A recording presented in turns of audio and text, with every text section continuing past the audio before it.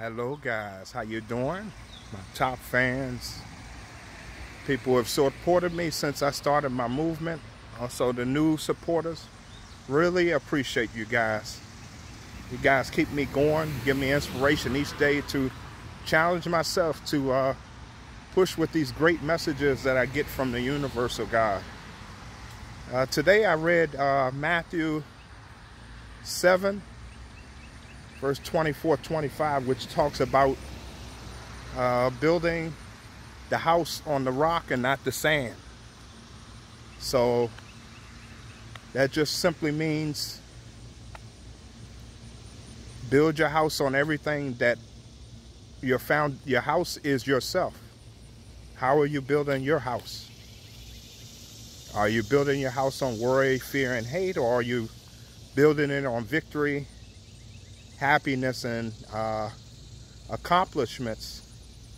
So just wanted to share that with you. That's what I read, a great, two great verses.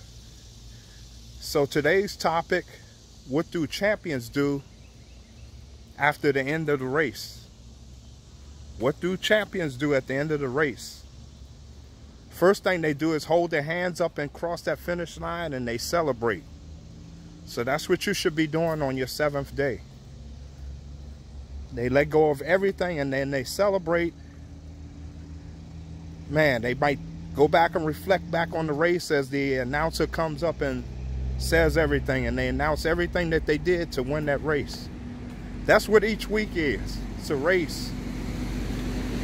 So, man, take time for yourself and get away.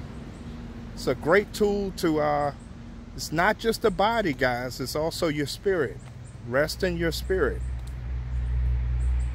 Uh, the fight's almost over. I feel it's like 95%. That's where I feel it's at. Because uh, one thing I think they announced with the uh, GESARA and the NESARA, that's what I believe in. They said it's going to be, it has to be announced 120 days uh, before the election, which is November 8th. So the clock is ticking. I do believe the uh, Monday, Tuesday, we're going to hear some news, but nothing bad. Nothing we can't, uh, nothing we can't handle. If it's something, anything that comes it's just helping you prepare.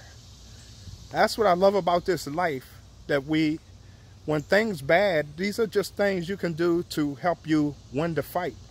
Lucifer has to put the signs uh, of things he's going to do. It's all on your perception.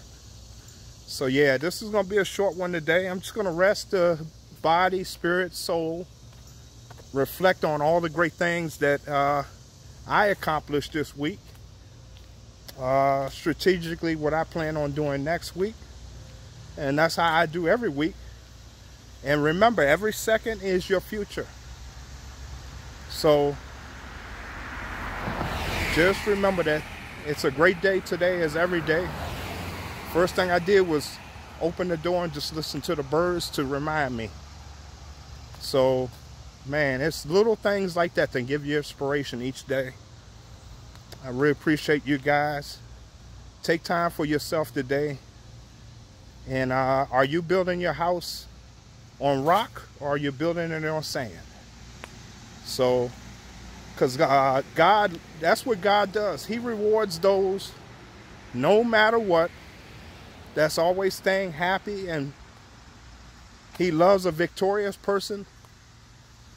He really does. Because uh, what you think is what you attract, as it is written. That's just yourself. This life is all what you make it. What character do you want to be? You can change it right now.